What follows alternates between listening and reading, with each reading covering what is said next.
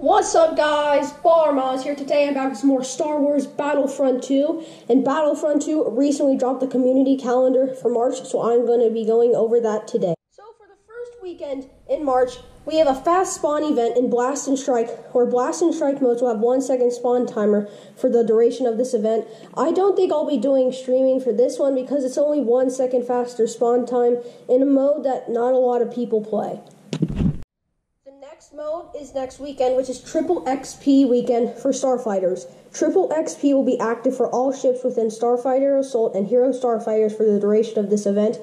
I think I might stream for this one. I don't always play with Starfighters, but it might be worth it so I can start leveling up my Starfighters.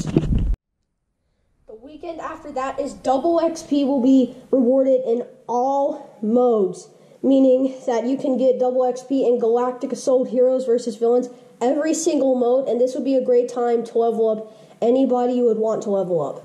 On March 26th, the new game mode arrives, where players will be able to fight across the surface of a planet and take down enemy capital ships to secure victory. Also, Count Dooku's third appearance based on his sleepwear from the Clone Wars also comes with this update. I am very excited for the new game mode. We've been waiting a long time for this, and I will definitely stream some gameplay for this.